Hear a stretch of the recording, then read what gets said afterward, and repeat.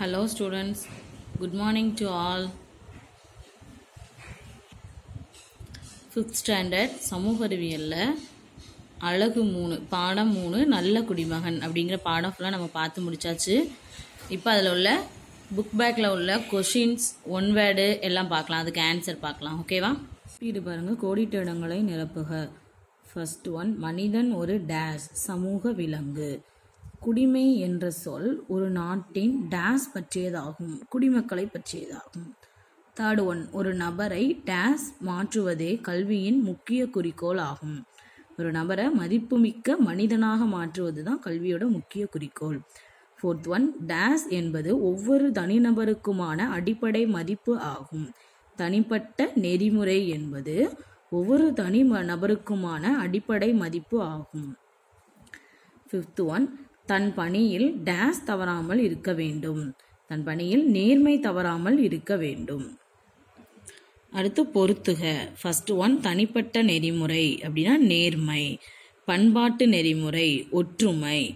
நடத்தை சார்ந்த நெறிமுறை. தேர்ட் ஒன் நேரம் தவறாமை. ஃபோர்த் ஒன் சமூக நெறிமுறை. சகிப்புத்தன்மை. ஃபிஃப்த் ஒன் வேலையின்மை. பாதிக்கும் காரணி. அடுத்து கொஸ்டின் ஆன்சர் பார்க்கலாமா? ஃபர்ஸ்ட் கொஸ்டின் குடிமகன் என்ற சொல்லை வரையறு. அது பேஜ் நம்பர் நூற்றி அறுபத்தி ஏழு எடுத்துக்கோங்க. ஒரு குடிமகன் என்பவர் ஒரு குறிப்பிட்ட நாட்டின் உறுப்பினராக இருந்து பல்வேறு உரிமைகளை அனுபவி அனுபவித்து தனது கடமைகளை நிறைவேற்றுகிறார். குடிமகன் அப்படிங்கிறவர் ஒரு நாட்டோட உறுப்பினராக இருக்காரு. அங்கே உள்ள அந்த அரசாங்கம் கொடுக்குற உரிமைகளை வந்து அனுபவித்து தன்னோட கடமைகள் நாட்டுக்கு தன்னோட என்னென்ன கடமைகள் இருக்கோ அது எல்லாத்தையுமே செஞ்சு கொடுக்குறாரு. இதுக்கு பேர் தான் குடிமகன். செகண்ட் கொஸ்டின் பாருங்க. ஐந்து தனிப்பட்ட ஒழுக்க நெறிகளை குறிப்பிடுக. பேஜ் நம்பர் நூற்றி அறுபத்தி மூணு. பேஜ் நம்பர் நூற்றி அறுபத்தி மூணில் பாருங்க ஒழுக்க நெறிகள். ஒழுக்க நெறிகளில் என்னெல்லாம் வருது? தனிப்பட்ட நெறிமுறைகள் பண்பாட்டு நெறிமுறைகள் சமூக நெறிமுறைகள் ஃபோர்த் ஒன் நற்பண்பு. சம்பந்தமான நெறிமுறைகள். ஃபிஃப்த் ஒன் அரசியல் அமைப்பு நெறிமுறைகள். தேர்ட் கொஸ்டின் பண்பாட்டு நெறிமுறை பற்றி சிறுகுறிப்பு வரைக. பேஜ் நம்பர் நூற்றி அறுபத்தி அஞ்சு. பாருங்க. நூற்றி அறுபத்தஞ்சாம் பக்கத்தில் பண்பாட்டு நெறிமுறைகள். நற்பண்பு பண்படுத்தப்பட்ட நன்னடத்தை. இது ரெண்டுமே ஒரு சமூகத்திற்கு மிக அவசியமான ஒன்றாகும்.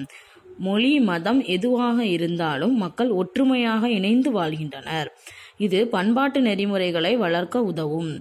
நாம் அனைவரும் சகோதர சகோதரிகளாக இணைந்து வாழ வேண்டும். அடுத்து நாலாவது கொஷின் சமூக நெறிமுறைகள் என்றால் என்ன?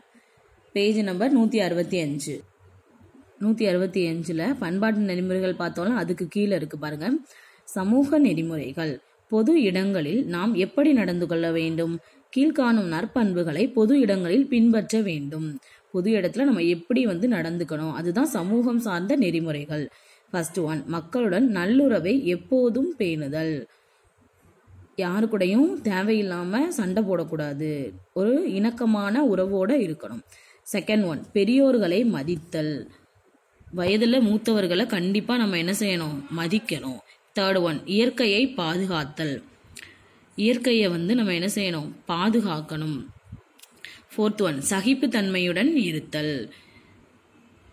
சகிப்புத்தன்மை அப்படின்னா யாராவது நமக்கு ஏதாவது தீங்கு செஞ்சால் கூட நம்ம என்ன செஞ்சுக்கணும்? பொறுத்து போகணும். நட்பை பேணி வளர்த்தல். நட்பை என்ன செய்யணும்? பேணி வளர்க்கணும். அடுத்து ஃபிஃப்த் ஒன் நடத்தை சார்ந்த நெறிமுறைகள் என்றால் என்ன? பேஜ் நம்பர் நூற்றி அறுபத்தி ஆறு. நடத்தை சார்ந்த நெறிமுறைகள். பேஜ் நம்பர் நூற்றி அறுபத்தி ஆறில் இருக்குது. நடத்தை சார்ந்த நெறிமுறைகள் நெறிமுறைகள் என்னென்னா நேரம் தவறாமை ஈடுபாடு அனைவரையும் சமமாக நடத்துதல் சரியான நேரத்தில் வேலைகளை செய்தல் ஒழுக்கங்களை கடைபிடித்தல் தவறாமல் கடமைகளை செய்தல்.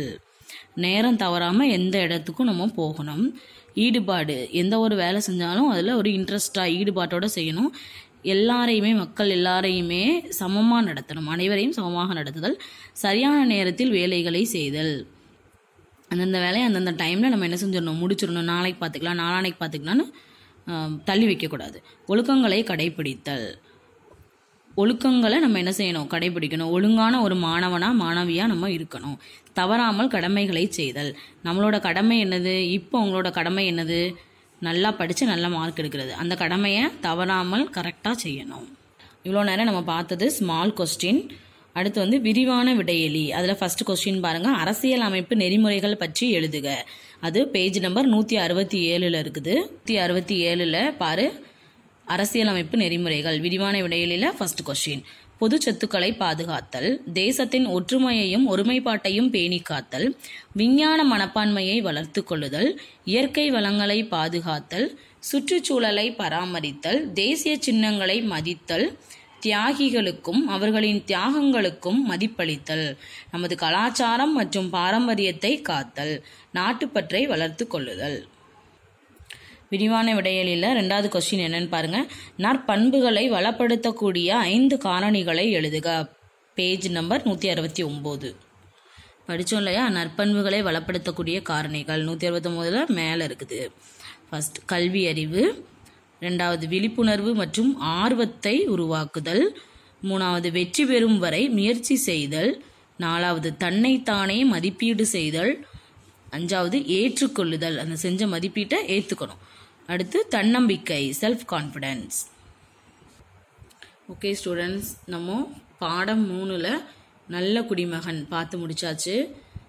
இதில் உள்ள ஒன் வேர்ட்ஸு கோடிட்டிடம் பொறுத்துக அப்புறம் ஸ்மால் கொஸ்டின் பிக் கொஸ்டின் இது எல்லாமே நீங்கள் ஒன் டைம் நோட்டில் காப்பி பண்ணிவிட்டு படித்து எழுதி பாருங்கள் ஓகேவா தேங்க்யூ ஸ்டூடெண்ட்ஸ்